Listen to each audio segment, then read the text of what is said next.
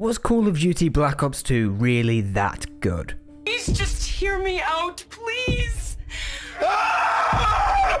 Call of Duty Black Ops 2 was probably the first Call of Duty since Call of Duty 4 Modern Warfare to take a major risk with its setting. Black Ops 2 is set in 2025 while also being set in the 1980s, constantly switching perspectives from Alex Mason and David Mason, and is considered one of, if not the best Call of Duty campaign in the franchise. And I gotta say, um, yeah, I kind of agree.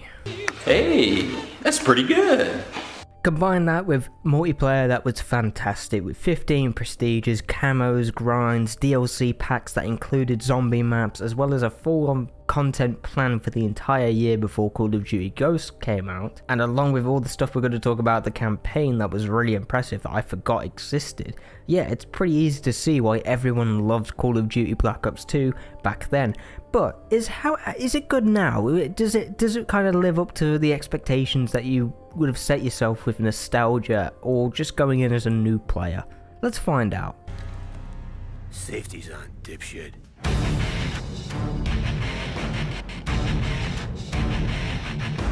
So in Black Ops 2, you play as a guy called David Mason, who is Alex Mason's son in 2025. A new threat has appeared threatening world peace by the name Menendez. Menendez!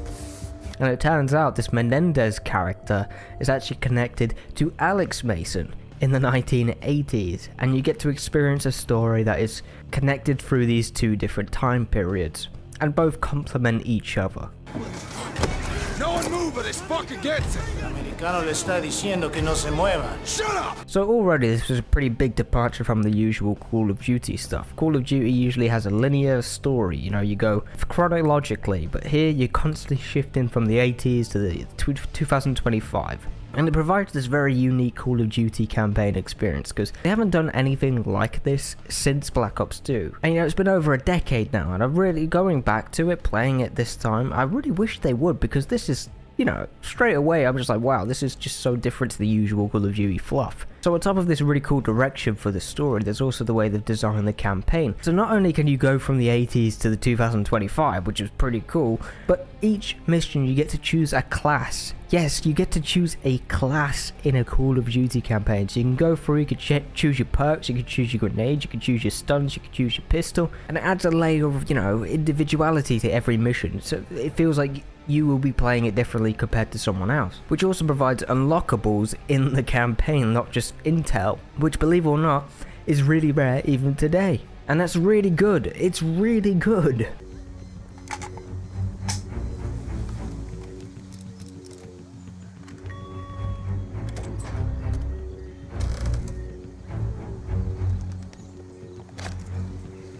And on top of all that, you have the strike missions.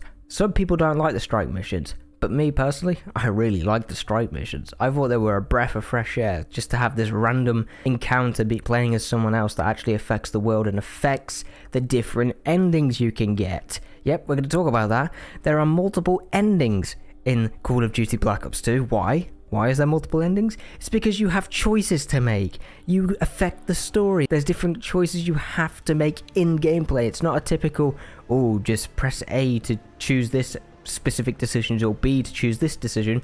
Yes, that happens in the game like once, but the choices that you make in gameplay, whether it's, you know, shooting someone in the leg or driving through the wrong area at the wrong time, that will affect the kind of ending you get. And I thought that was brilliant. That's cool. They took a massive risk here. They took a massive risk and it was critically and financially successful, but then they, for some reason, Activision just said, nah, nah, let's throw all this away.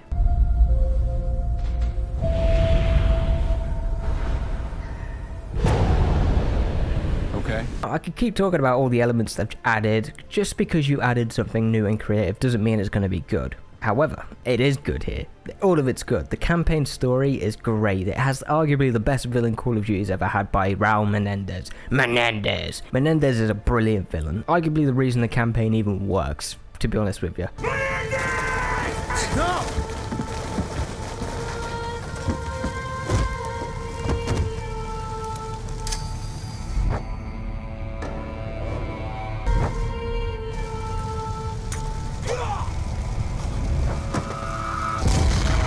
If Raul Menendez sucked as a character, the campaign would not be very good. Just from a story perspective anyway. But Raul Menendez is brilliant. I love his character. I love his plan. I love his idea of trying to trick the West into eventually killing him to, to show that people that, that, that they need to rise up against them, that everyone's a weak. It's just a good plan. Sure, it's a bit over the top. Sure, it's never going to happen in real life, I don't think.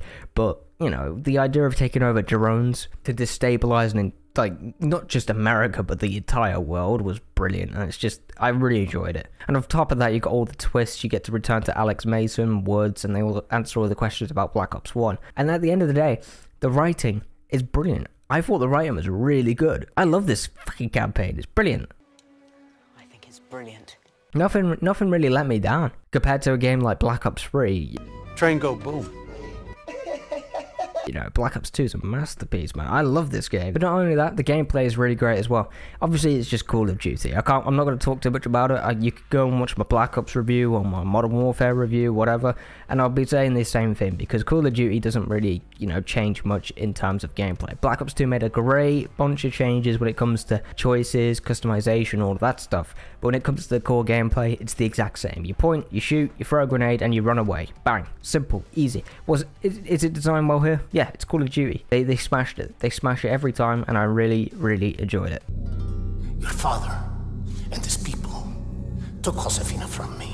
Gonna cry. Now, multiplayer. I couldn't play much of it because I, there was there's this um, thing called Plutonium, which is like a place where you can go play Black Ops 2, Black Ops 1, uh, Modern Warfare, multiplayer, and stuff like that on PC without the risk of you know getting hacked because you decided you wanted to play a single game of TDM. You know what I mean? So I play on that, but I didn't I didn't really enjoy it. I, I wanted the classic experience, but it seemed like everyone, you know, had custom maps and you, field of view at 120, and you know that's obviously giving people an advantage. So I didn't play much of it, but it did remind me of everything that we had with the snipers, uh, the the customization options actually that was brilliant. Like the all the attachments you could equip, the perks you could unlock, how the the pick me pick ten I think it was the pick ten or pick eight or whatever it was. The pick ten system worked brilliant. That was ten out of ten for me. I love that system. Yeah, the sheer weapon variety, sure. Modern Warfare 2019 and Modern Warfare 2022, that you know, they, they obviously they're going to blow the old games out of the water when it comes to customization, weapon selection, stuff like that. But I still think Black Ops 2 is a brilliant multiplayer game. I wish we could play it now. I wish they would remaster it, but you know, it is what it is. Not much, can't really say much after that. And I didn't play zombies. What do you mean you didn't play zombies? Maybe I'll live stream it one day. That'd be a good idea. Just live stream it and invite you guys. That would be brilliant. Wait, no, that's brilliant. Let me know if you want that.